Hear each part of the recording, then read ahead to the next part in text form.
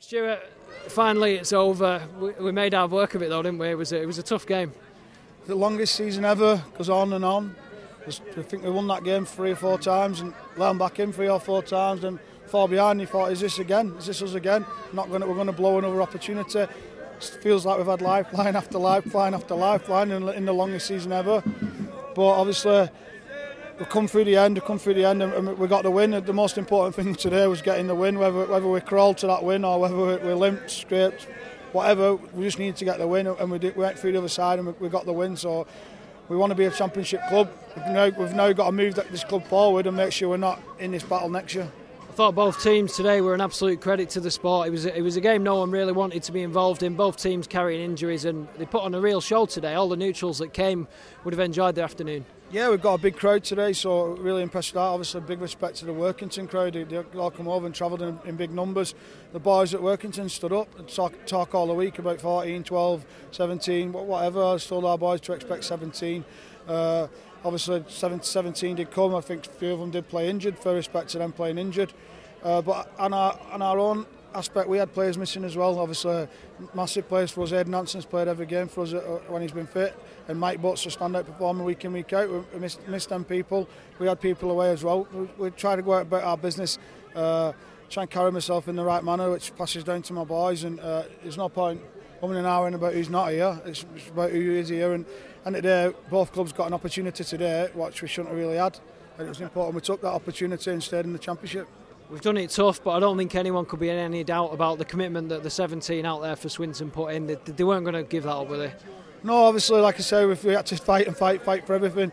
Uh, that week off last week was massive for us. Obviously, we, we limped to Batley we had 17 players, including Tommy, which big respect to him. He put his hand up and played. That was our last 17. We limped into that game. We had players carrying knocks. He shouldn't be playing.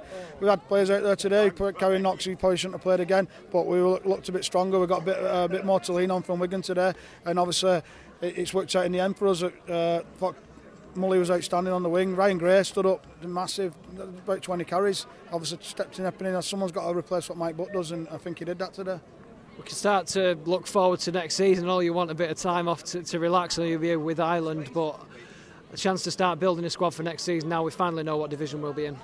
Yeah, we're a championship team. We need to build a championship squad.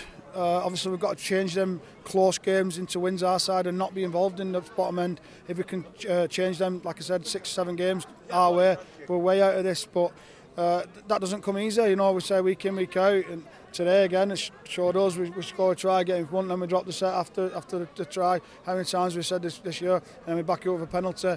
Uh, we've got to get better at it. We, we strive to get better. We've got, we've got a good group to turn up. They're honest, but we need to get better. Obviously now we can recruit both our players who've done the job for us this year, and obviously recruit uh, with other targets what we've identified from other squads who might be available. We are a bit behind in the recruitment drive because obviously we've been where we are, and obviously there's two different budgets whichever league we're in.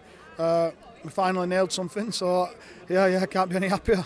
And finally, looking back on your first full season as Swinton coach, how do, how do you reflect on the year as a whole? Stressful. Uh, no, I enjoy it. I enjoy what we do.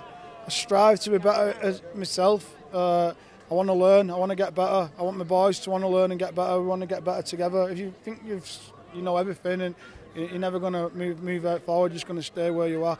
Uh, I watch rugby. My missus will tell you every, when I'm at home, I'm clipping games or watching other teams. And uh, like I say, I, I, I want to build that knowledge base. I want to get better. Obviously, we've had a lot of adversity at this club this year, and we, we, we kept quiet about a lot of the, a lot of stuff. To be fair, uh, again, I think that's the way to do it as a club, and uh, we'll keep things in house. But uh, there's been a lot of challenges. We learn uh, as a staff learn as a board, and we move forward. We've got to move forward each year. It's small steps. We know you think where we was last year and nearly dead and on the life support machine.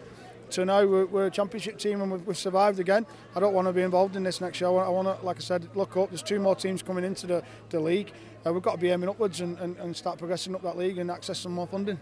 Well done, Stuart. Enjoy tonight. Thank you. Thank you. Well done.